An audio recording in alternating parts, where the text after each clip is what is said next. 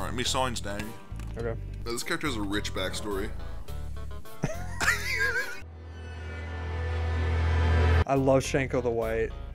Thank you, man. Did you take the mask off? That's terrifying. Yeah, let me put it on for you. Hang on, don't stop, stop, stop. Look back. Look back where you were. I look like a ghoul.